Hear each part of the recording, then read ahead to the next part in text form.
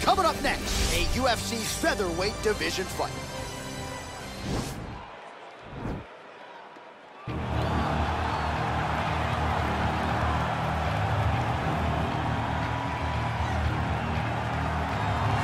Well, I'm excited for this one. This is a kickboxer of the highest order. He has so many different kicks and punches in his arsenal and figures to try to keep this on the feet here tonight. The beautiful thing that he does is he throws that front push kick to create distance when a guy starts to get too close and wants to wrestle with him.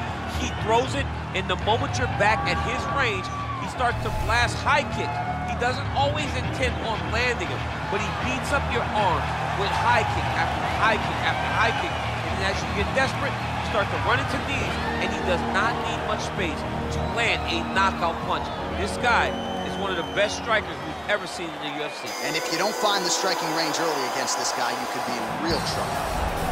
Well, you can argue this is the most influential martial artist of all time, the great Bruce Lee, making his walk to the octagon here tonight, champ. Everybody wants to be Bruce Lee. They say they want to be like Mike. If you're a fighter, you want it to be like Bruce Lee. You want it to be that fast. You want it to be that charismatic. You want it to have an ability to just freeze your opponents. Your speed, your movement, just the diversity in the attacks that you can give your opponents would just confuse people. I mean, I watched him beat a seven-foot Kareem Abdul-Jabbar to stay undefeated. Right. If you can do that, you can do anything. I fear not the man who has practiced 10,000 kicks once, but I fear the man who has practiced one kick 10,000 times. Bruce Lee in a nutshell. Just so wise. Our tale of the tape for this featherweight fight. So these fighters are just a year apart with similar height and some differences in reach. All right, now for the official introductions, we go inside the octagon to Bruce Buffer. in the UFC featherweight division. Introducing first, fighting out of the blue corner. This man is a kickboxer, making his professional debut here tonight. He stands 5 feet 5 inches tall, weighing in at 139 pounds. Fighting out of Salvador Bahia, Brazil, Assassin. And now introducing his opponent, fighting out of the red corner. This man is a mixed martial artist making his professional debut here tonight. He stands 5 feet 7 inches tall, weighing in at 145 pounds. Fighting out of Los Angeles, California, USA, Bruce the Dragon Lee. And when the action begins, our referee in charge, Dan Miragliotta. Dan Miragliotta, your referee. You ready? You ready? All right, so lofty expectations for this matchup as round one gets underway. Seems to be a striking advantage on one side, but on the other, truly a fighter who can do it all. And that guy will usually have the advantage on paper. When you're a striker, at this guy's level, that will normally balance out whatever advantage the other guy has. Well, perhaps a sign of things to come as he lands a kick there. Nice kick landed by this gentleman. Oh, that'll ring your bell. Head kick. All right, early round one here. Big reach advantage, DC. We'll see if he can employ that patented jab. Yes, he has to maintain distance. He's a taller guy. So every time his opponent tries to enter, he's going to have to take something on the way inside.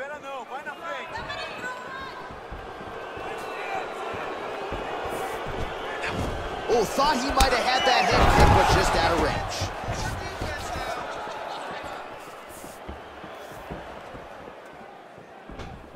That is, oh man, this dude is good.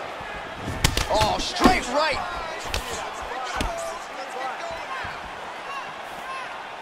All right, under three minutes now to go in round one.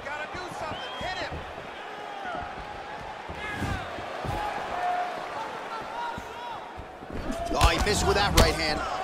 That one snuck in. Nice strike. Look at him chopping the wood. Chop the wood with those leg kicks.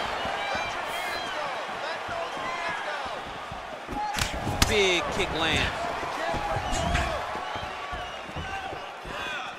Look at him working at trying to shut the liver down. Ooh.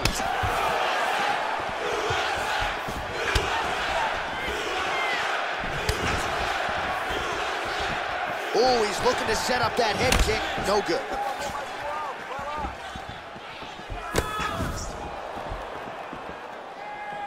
Ninety seconds to go now. Look at him drive his shin into his opponent's body with that body kick. That's a big strike right there.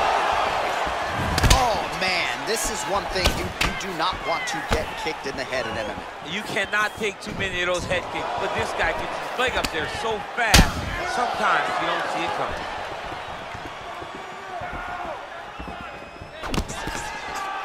Oh, nice. Nice.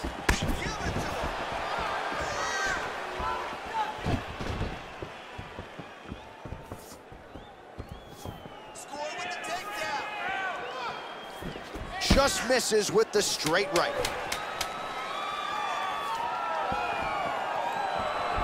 Oh, that right hand is on point.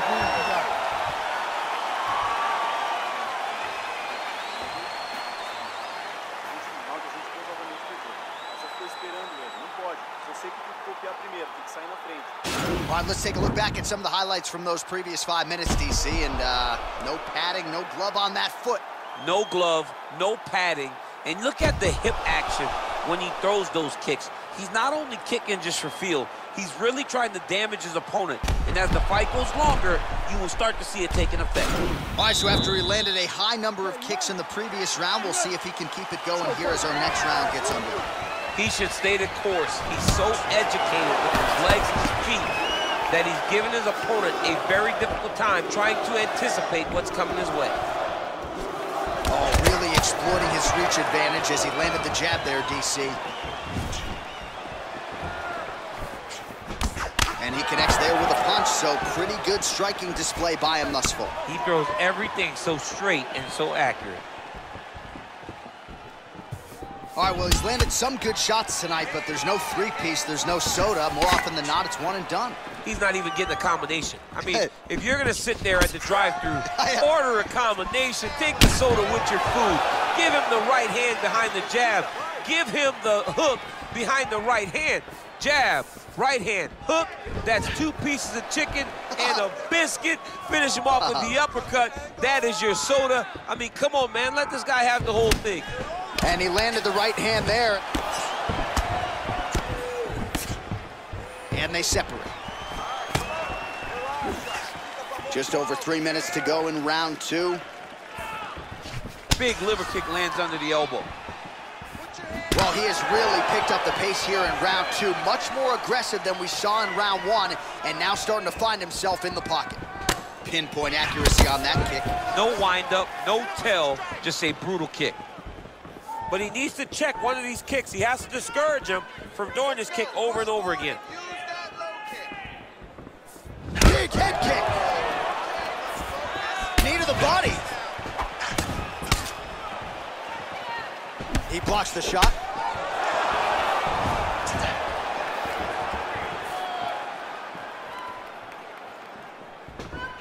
Score that takedown, man. Ooh, big shot lands. Let's get some offense. Let's get going. Oh, he slips there and then counters beautifully. His coaches are certainly going to like that. They've been begging him to take advantage of his reach edge, and he certainly did there.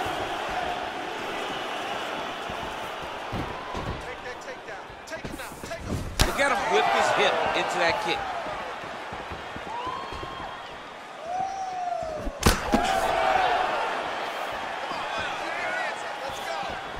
Oh, he lands another strike to the body, really starting to connect on a lot of shots to the midsection, and these will take their toll as this fight goes into the latter rounds. Look at the force behind that leg kick. We can win this round. I need you to get the takedown. Look at the turnover in that kick. Tried to go to the body, but unable to connect. And that's the end of round number two. All right, now we take a look back at some of the highlights. He has had his kicking game going early and often tonight. I mean, on point, right? He knew that this was going to be a way for him to take control of this fight. he's used those kicks to really put him out ahead. And I'm not sure if his opponent has the ability to adjust and stop him from landing these over and over. Vira. Vamos foi muito bom, foi muito bom. Mas você precisa melhorar. All right, here we go, DC. Our next round is underway, and he's chasing some punch stat records tonight. That was some serious volume and efficiency in the previous round. Normally you see that in boxing, where a guy just throws so many strikes. But this man has taken it to the octagon, looking to break all the punch records before the night is over. Well, you saw the tale of the tape. He has a reach advantage and made good use of it there with that punch. Kick to the body now. That one won't land. Well, just as he did in the previous round, he continues to connect on a high volume of strikes. And a good sign, too, doesn't seem to be slowing down whatsoever.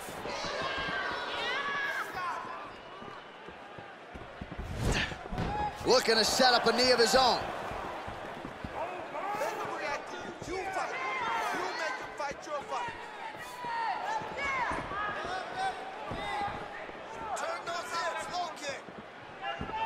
He missed with that jab attempt there. Pretty nice knee there, DC. Great job finding the opportunity to land that strike.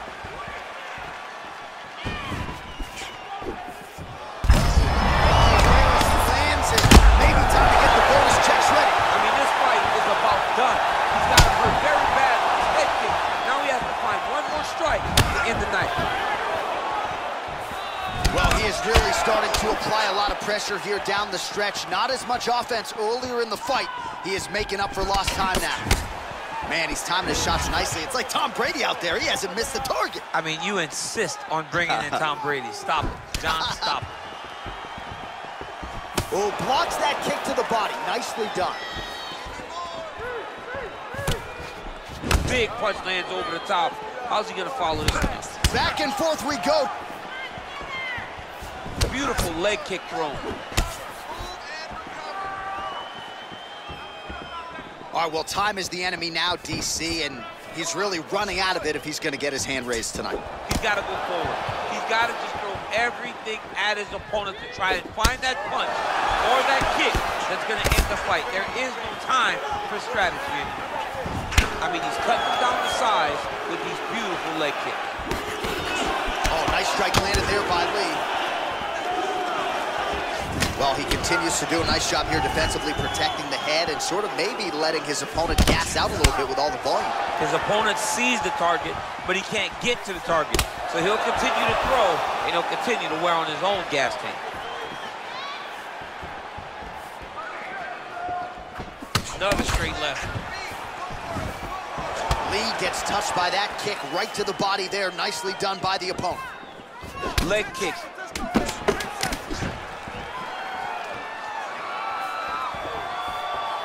Oh, nice connection there with a punch, DC.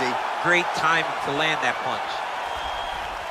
All right, so the fight goes the distance. We'll take a look back at the action, but should go his way given all he got done in the striking game. Yeah, he did a great job of landing at will, mixing up the target, doing everything that he's become known for in order to cruise to a very good decision.